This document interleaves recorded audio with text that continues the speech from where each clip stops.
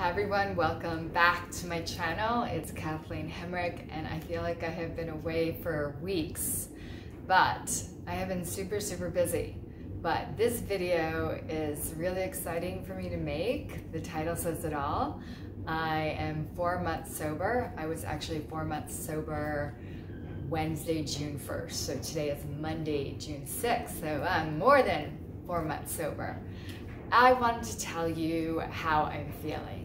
I would say the first and second month, I was still really feeling that sense of, ah, uh, we good to have a drink because when I don't feel well, when I don't sleep well, I really want that alcohol. It actually calms down my nervous system.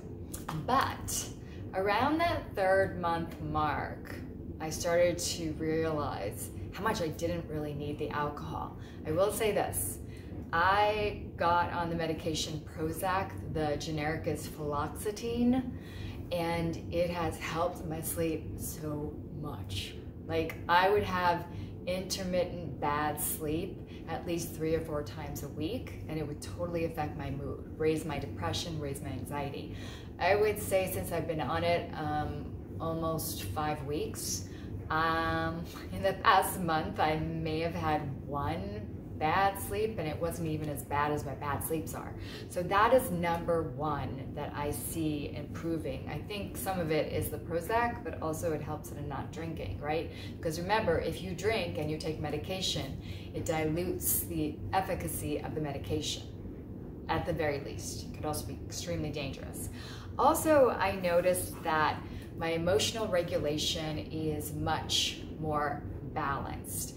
I still feel um, some anger or fear or anxiety for sure, because there are a lot of changes going on that I will tell you about next week. Um, but that's more inward. Outwardly, I, I feel like I'm able to just chill. And even if people are kind of like, I'm just going to say it, kind of bitchy towards me or defensive or angry, not even at me, but just spouting out this negative energy, instead of kind of reacting to it like out of fear and fighting back or running, I just kind of sit and I listen, right? Not just for my clients. My clients is not a problem, but talking about my personal life, okay?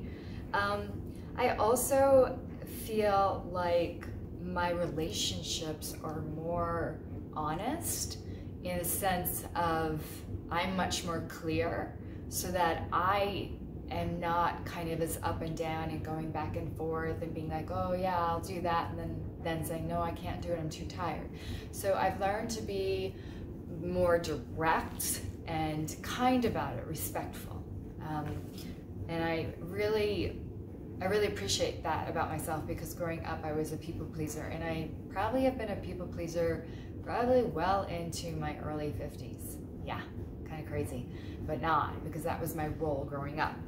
I also, um, surprise, surprise, maybe not surprise, um, not that I was looking for it, but I lost about three pounds. So I don't know. I mean, I was a vodka lemonade or vodka cranberry girl, and I don't feel like I overate, but maybe my body's just catching up on that sleep, maybe not having that um, sugar from the alcohol go up and down.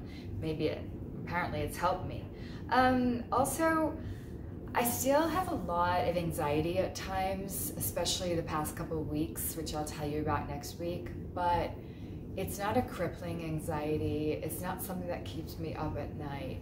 It's more of um, natural worry. I call it more worry than anxiety. So those are really the main points that I feel. And I will say I noticed um, a big difference between this month, June, my fourth month of sobriety, and definitely my first month of sobriety. Oh, one more thing I wanted to add to, to this is I've actually had two dreams where I'm just drinking a little bit, just a little bit, and I'm out. Okay, so my first dream, I was out and I was like, I'm just gonna have a little bit. It's not like I'm drinking at home.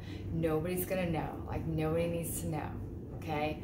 So I think that dream was about like wanting to escape again and then hiding it from people, which is of course totally against sobriety, right? You need to be transparent. You can't be sneaking in a little bit of stuff.